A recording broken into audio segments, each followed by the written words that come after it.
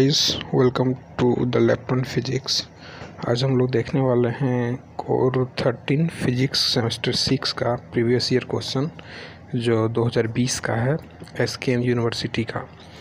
तो वही देखते हैं क्वेश्चन को। सबसे पहला क्वेश्चन है आप सबको पता होगा number question number one compulsory होता है और कोई पाँच क्वेश्चन का जवाब देना पड़ता है, जो कोर पेपर होता है टोटल सिक्सटी मार्क्स का होता है और आपको समय मिलता है तीन आवर सबसे पहला क्वेश्चन आपका है answer any three question of the following जो कि एक क्वेश्चन आपको तीन मार्क्स का मिलता है, और इसमें आपको एक क्वेश्चन चार मार्क्स का मिलता है। टोटल तीन क्वेश्चन का जवाब आपको देना पड़ता है। क्वेश्चन एक है आपका सबसे पहले first question distinguish between conduction and displacement current ये दोनों में आपको डिफरेंस बताना है।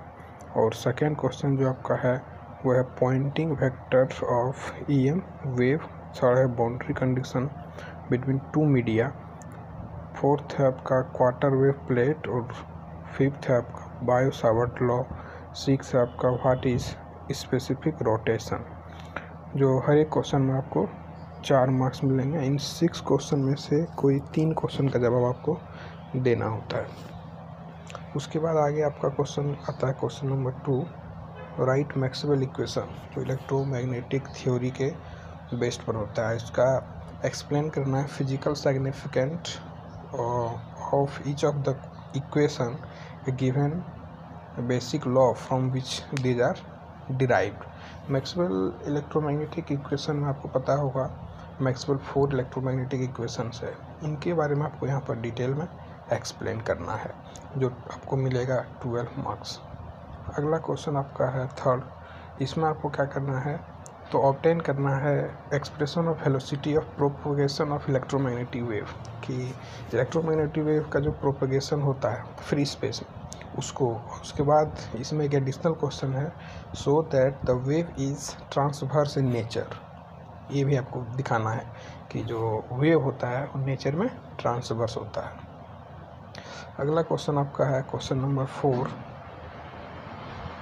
state and prove pointing theorem and explain difference turn value in the term ये आपको बहुत इंपॉर्टेंट क्वेश्चन हो जाता है। इसको हम वी वी आई में बोलेंगे कि पॉइंटिंग थ्योरम कभी लॉन्ग में, कभी शॉर्ट में भी आ सकता है। अगला है पांचवा क्वेश्चन आपका set of Maxwell equation in the propagation of electromagnetic wave in conducting media and explain skin depth अभी हम लोग देखें कि मैक्सिमल इक्वेशन को एक्सप्लेन करने दिया था इलेक्ट्रोमैग्नेटिक वेव का फोर इक्वेशन वाला। दूसरा क्वेश्चन आपको यहाँ पर मिल गया है Maxwell equation propagation of electromagnetic wave in conducting medium में सिक्स क्वेश्चन आपका है give the electromagnetic theory of double refraction in uniaxial crystal uniaxial crystal में डबल रिफ्रैक्शन जो होता है इलेक्ट्रोमैग्नेटिक थ्योरी का। उसको आपको यहाँ पर एक्सप्लेन करना होगा। सातवां क्वेश्चन आपका है deduce Fresnel theory law of reflection and refraction for electromagnetic theory electromagnetic theory पे जो फ्रेशनल ने लॉ दिया है रिफ्लेक्शन और रिफ्लेक्शन का, उसको आपको यहाँ पर डिड्यूस करना है, इसको एक्सप्लेन करके बताना है।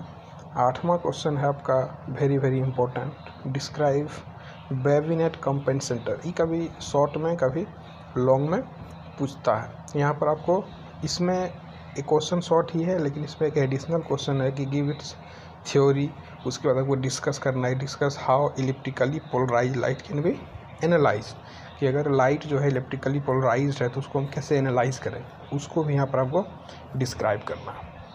और लास्ट क्वेश्चन है जो आपका नौवा क्वेश्चन है। कहता है कि describe the construction of Nicol prism Nicol prism के कंस्ट्रक्शन के बारे में बताना है। उसके बाद आपको ये भी बताना है कि how it is use as analyse and polariser analyser और पोलराइज़र में इसको हम लोग कैसे यूज़ करेंगे? तो ये क्वेश्चन आपका था 2020 UG semester six core thirteen का। मिलते हैं अगले वीडियो में। किसी और कोर फोर्टीन को लेके हम आएँगे। और अगर आपको इस क्वेश्चन पे बेस्ड इसका आंसर चाहिए तो आप कमेंट कर सकते हैं, मैं इसका नोट्स अपलोड कर दूँगा। तब तक के लिए मिलते हैं अगले वीडियो में, फिर देखते हैं जो जैसा होगा, उसको हम लोग यहाँ पर डिस्कस करेंगे। और आज मेरा यूट्यूब चैनल का हंड्रेड सब्सक्राइबर कंप्लीट हो चुका है तो आप वीडियो को शेयर करें दोस्तों के साथ और वीडियो को सब, मेरा चैनल को सब्सक्राइब करें।